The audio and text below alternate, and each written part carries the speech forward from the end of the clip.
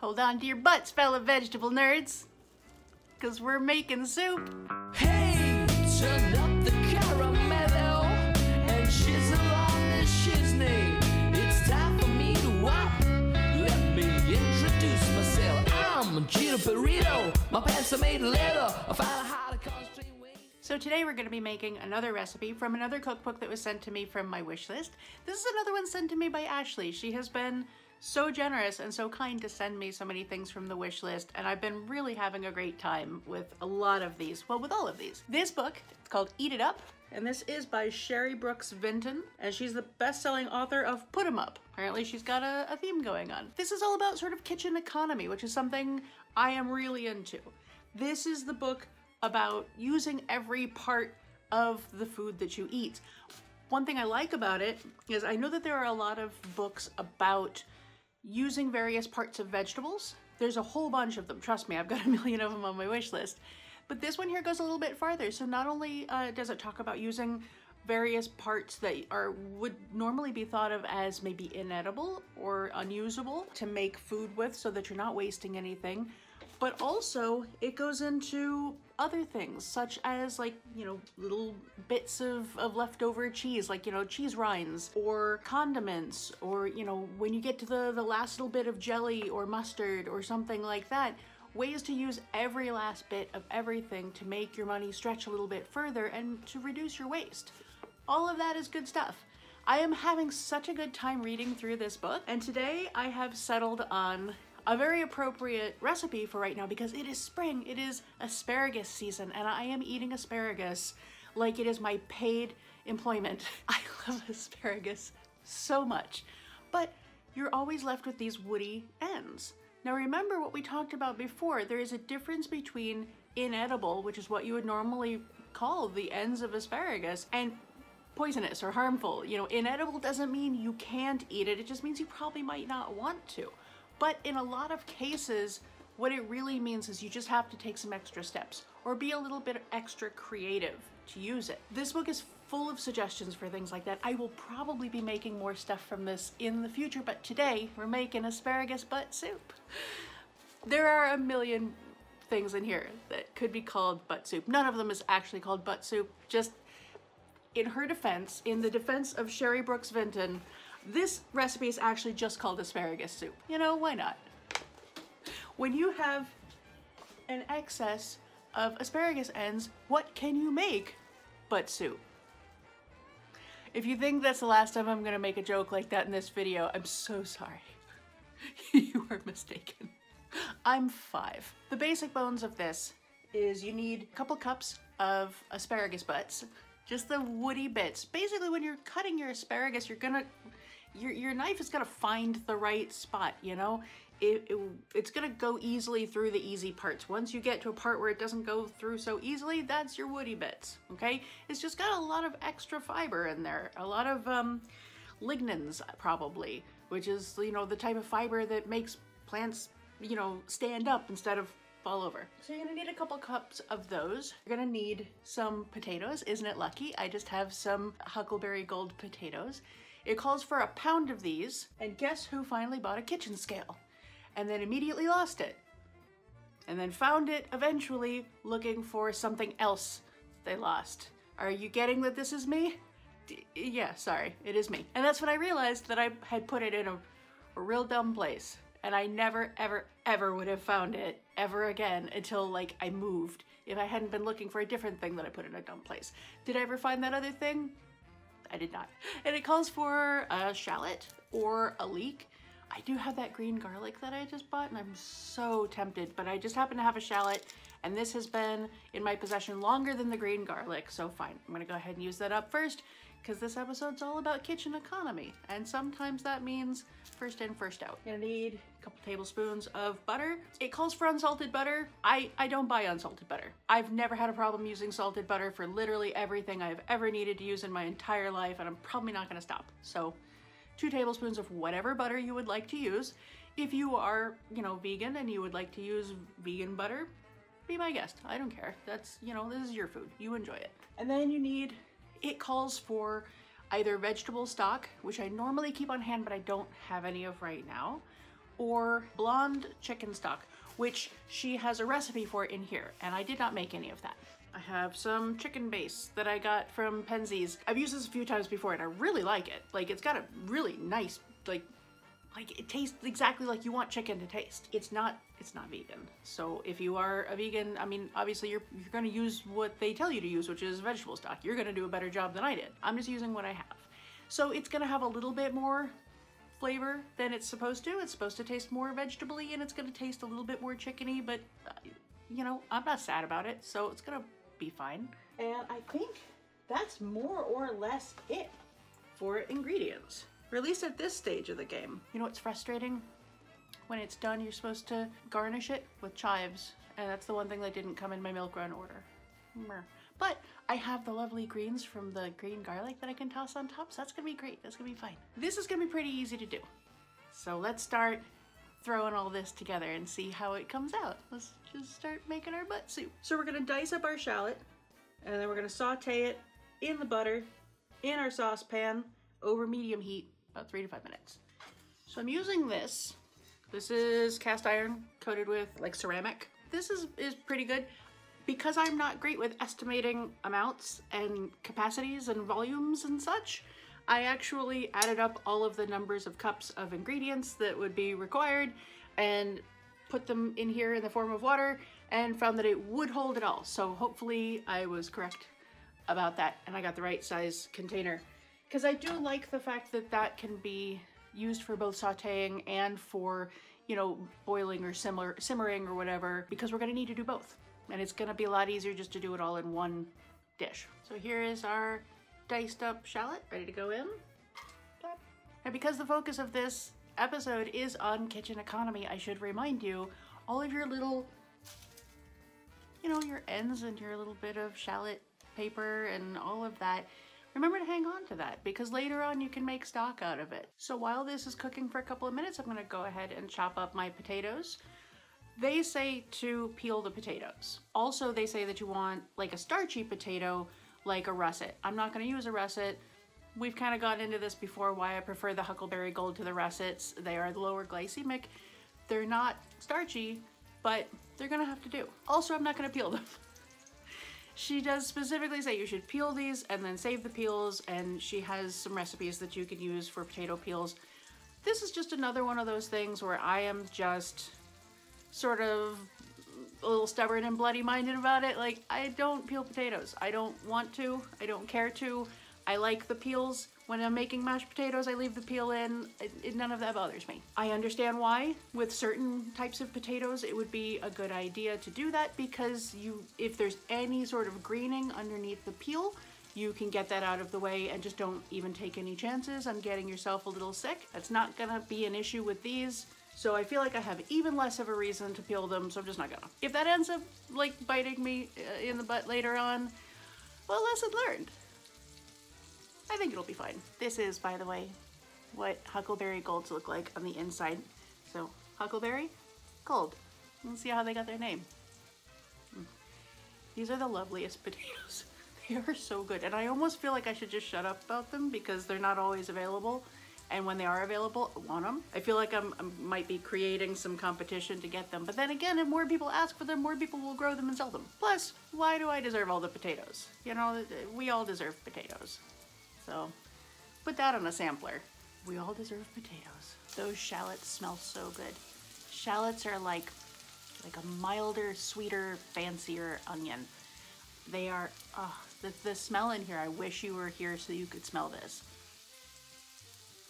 Beautiful. It doesn't say how big to chop them. It just says to chop the potatoes. So I'm just kind of go, I mean, they're not perfectly uniform, but they don't have to be. It's okay. We're just gonna whiz it all up in the end anyway. So now we're gonna add the potatoes. We're gonna add the asparagus ends and we're gonna add our stock. And we're not gonna use the whole asparagus stock. We're gonna use the edible parts for, you know, what we would normally use asparagus for. Maybe I'll saute them. Sauteed asparagus is so good, y'all. Just, I know a lot of people like to boil asparagus. I used to when I was younger because I didn't know any other way to do it. And then I was in a grocery store and somebody was giving out samples. It's a weird thing to give out samples of, but she was sauteing them in butter with just a little bit of salt and pepper and Oh my god, it was so good. They get a nice little char on the outside and it's so delicious. And so now that's how I mostly make them. That is a digression. Which is why I put the stock in first because I knew I was going to stop and talk and I didn't want my shallots burning. We're just using the ends, just the butts. And the other parts we're going to use for our normal stuff. So now we're going to bring it to a simmer and then we're going to cook it, cook it until the potatoes are falling apart. They're saying about 25 minutes. If this is something that you want to do, but you don't have the time or energy to do it immediately, you can just stick it in a baggie, all your little butt ends after you're done eating your asparagus, toss it in the freezer. And then when you're ready to, there they are. So like I said, it doesn't say whether you want to have a lid on or not. However, this has a lid. So I think it's gonna be probably, I assume, easier to keep it at a simmer while using less power by having a lid on it because the lid's gonna keep all of that heat in there and I think it'll cook a little bit more quickly. I'm gonna get it just about to a boil and then uh, put the lid on it lower the heat just a little bit just to keep it simmering and then keep checking back on it for a while. So the potatoes are still simmering. I've got them down to a fairly low temperature because they stay at a simmer really well in a cast iron. I know I said they're covered in, in uh, ceramic. Obviously they're not covered in ceramic. I just couldn't think of the word enamel. It is, by the way, like two in the morning. I mean, what else do you do at two in the morning but make butt soup? But I wanted to show you something while it's cooking. Do you remember from the last episode, the milk run episode, remember those Chioggia beets? I remembered. It still feels weird to say it. Doesn't, just, it's, uh, chaga was so much fun because I could go like chaga, chaga, chaga, chaga. There's still a mushroom called chaga, so I still get to make the noise. Also, it's free country, I can make the noise anytime I want to. Uh, these beets, I have decided to pickle them. I sliced them really thin and I've got some red onion in there. I found a recipe online to keep them raw. It's a quick pickle, but they've got a couple hours left to go. Uh, they say not to eat them for like three hours. Free country. That's gonna be nice when it's done. The flavors haven't quite settled in yet, so you still get a little bit more earthy than sweet, but that's gonna be really nice. And the recipe that I found had even a further recipe for how to use it the next day. So that's being marinated in some olive oil, and some red wine vinegar and uh, the, it called for seasoned rice wine vinegar, which I didn't have. I just had reg regular rice vinegar. And it turns out that the only real difference is just that the seasoned one has some sugar and salt in it. So even better, I just, you know, found the measurements to make the one the other and I added a sugar substitute. So I have seasoned rice vinegar without the sugar. I'll post the recipe uh, down below so you can see it because I don't remember. I will try and post some pictures of, you know, the final dish to my Instagram. If you didn't know I have an Instagram, check the description down on the bottom and you can see that. And I post stuff that I don't post here. Also, I post stuff to Facebook sometimes.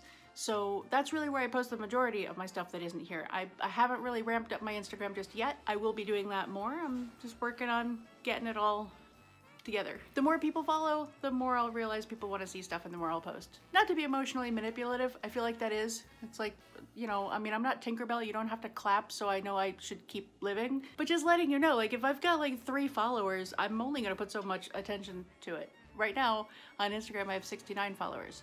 Nice. And as, as fun as that number is, uh, go, go ahead and uh, shatter that if you would like to follow me on Instagram. It's all in the description. Okay, I'm gonna get back to my butt soup. You know what just happened? So you know how I've said before, sometimes these productions are sort of fraught with dangers and perils and mishaps of various kinds. So we've got the galley style kitchen. It's just a long, well, not long, but it's a narrow kind of thing. And in between me and the refrigerator, there is a tripod and there's a stand light and that's the whole width. So in attempting to get to the fridge, to put those pickles back in the fridge, I had to kind of like, you know, matrix around stuff. Um, and I managed to get them back in the fridge. But then when I went to go back into the fridge for something else, I found that when I was like, Mm, you know, trying to squeeze in and just real, you know, quickly throw them back in the fridge, I had put them in a precarious position because it was all I could do from the angle I was at. And they fell out of the fridge the lid came off. Half of it's on the floor. And I can't get to it because it's underneath the light. So it's just gonna sit there on the floor.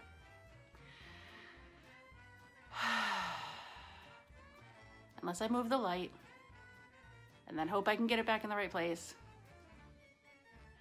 So if the next time you see me, the light looks weird, we both know what happened. Just checking in to give a status report. I, I don't I don't know. I haven't been keeping track of the time. It has been much longer than 25 minutes though. It turns out that Huckleberry Gold potatoes have quite a bit more structural integrity than a russet potato. Because I know in the past I have boiled russet potatoes until they fell apart, and these guys are hanging in there. It's executive decision time. Do I just keep cooking the crap out of them, or and, and sort of risk overcooking the asparagus?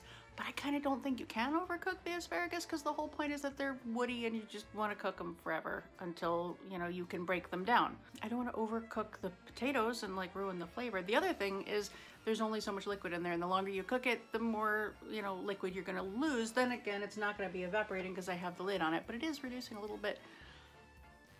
Sometimes it's hard to know what to do. On the bright side, whatever decision I make, if it turns out to be the wrong one, now you know which one is right and which one is wrong. no matter what it is, I'm gonna eat it. Don't you worry. Oh, speaking of food waste, I cleaned up the stuff on the floor. So I think I got the light back in more or less the same place. So hooray for that. But I was thinking, and this is a, a great time for a fun fact about Kyoga beets. Uh, Kyo, Kyogia. Kyogia. Kyogia?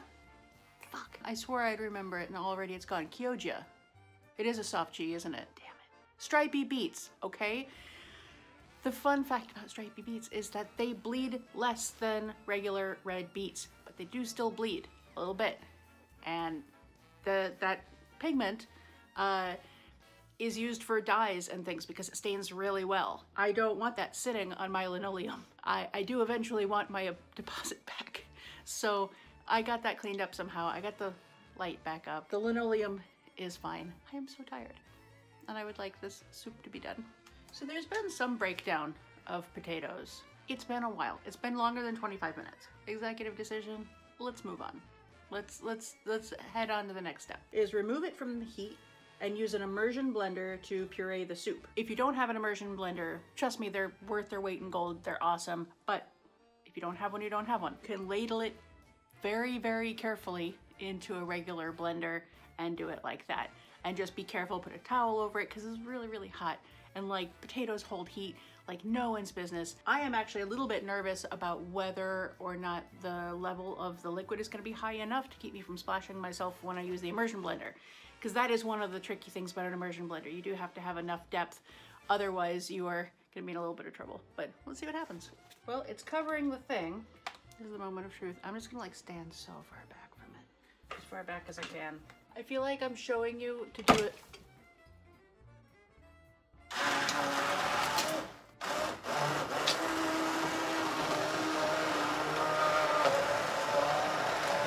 There is some splashing.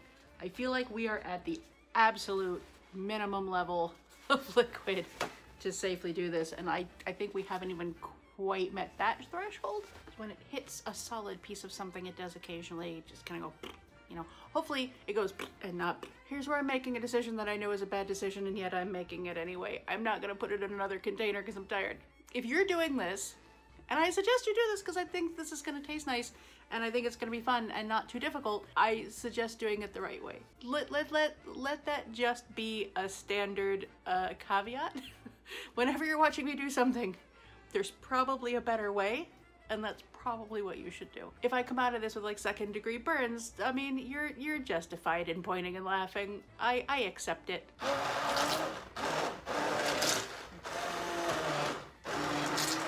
So I was concerned. The reason that they want you to have a starchy potato like a russet is because it's going to help thicken things up.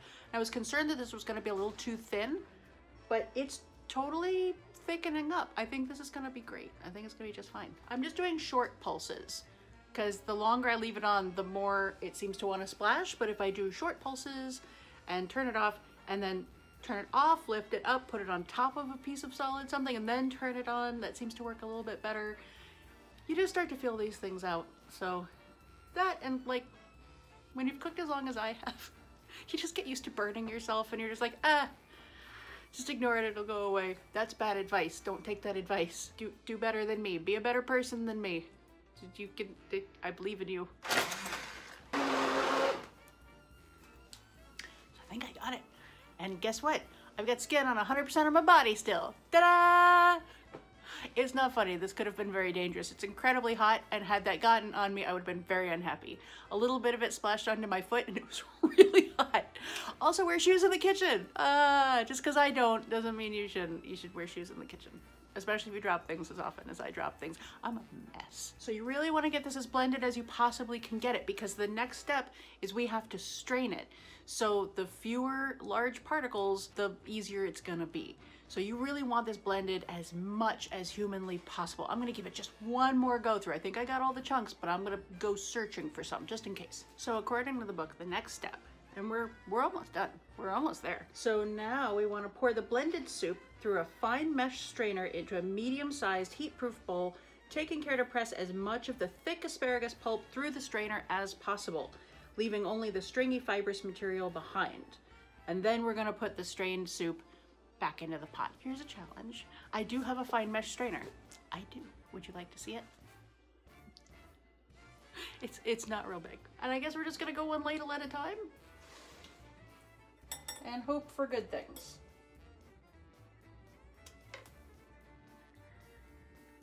Oh, wow. Well, I mean, it's happening. It could take the rest of my actual life, but it is happening. Is this maybe too fine a strainer? The book does sort of talk about this recipe as though it's a very easy and quick thing to just whiz up if company's coming over and you need to make something that seems uh, fancy. So it is possible I have done something wrong. So I remember that I had something. I got this guy here, which is a wire colander. This is working way better. I had a good plan and the plan is coming together. What I'm able to do is I've got more room to kind of flatten this out more is coming out the bottom, but also I can see all these fibers and kind of flatten them against the mesh. And then when I think I've gotten like everything out of them, I can just scrape that up and put that in the garbage or something and then keep moving on. Had I stuck with the little bitty strainer, I would literally be here the rest of my life, which would be short because I would fling myself off something tall onto something sharp. So we got there in the end. The bowl was plenty big. I got about that much in there. It's not a beautiful color, but that's okay. And I wanted to show you, look at all of this fibrous kind of grossness. You couldn't eat that. This is why we don't eat the ends of asparagus. But we were still able to make food out of it.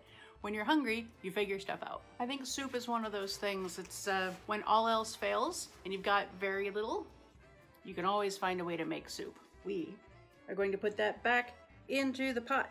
Can heat it at a gentle simmer. Now, if you're using cream, it does say that you can add a little bit of heavy cream in there uh, to improve the flavor. I will be doing that. They specifically say that it is optional but divine.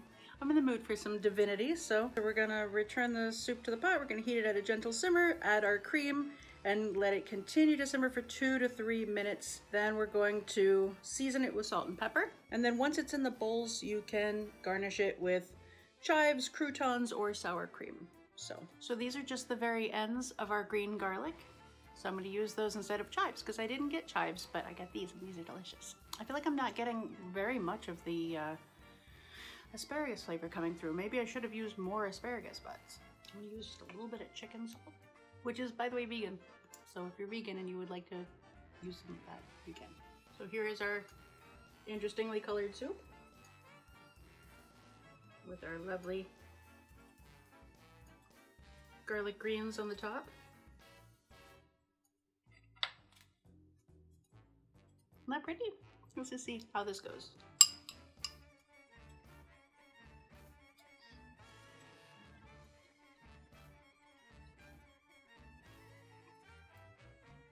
That came together in the end. You can also put croutons in that. You can also, I think it said you can serve it with some sour cream if you wanted to at the end. I don't really feel like it needs that. I don't know, maybe then again. I could throw some on there and see how it goes. But, hmm, butt soup's pretty good. I would, I would eat this again. And now that I know what I'm doing, I think it would be a lot quicker to make it next time. Also, not to complain because I love doing this, but I feel like if I wasn't trying to also talk while doing it, I probably could do it a little bit more efficiently. Probably not though, let's be honest. But next time I will know what tools to use and what tools not to use. So when you make it, you can sidestep any of the mistakes that I made and you can do a lot better. Thank you so much for watching. If you try this out, I really hope you let me know. My email address is in the description. You can also join my uh, Facebook page and you can post there however you want to do it. Let me know if you tried it out and what you thought of it and what you what changes you made to it maybe. If you would like to send me something from my Amazon wish list that I will absolutely use in an episode, that's also in the description. If you don't want to do that, that's also totally cool. So I am just happy that you're here watching this. But I do ask if you can, I would love it if you could like and subscribe. That just, it, it makes me so happy when that happens. I'm a very small YouTuber. I just passed 200 uh, subscribers, which is, a, for me, a huge number. For YouTube, I am aware that's quite small. That's a, a, a modest audience. But for me, I'm at such a small level that every single subscription is like, I got another subscription, you know? So it's very appreciated. I have more fun things coming up to show you. Thank you for joining me, and I hope you join me next time. Bye. Hey,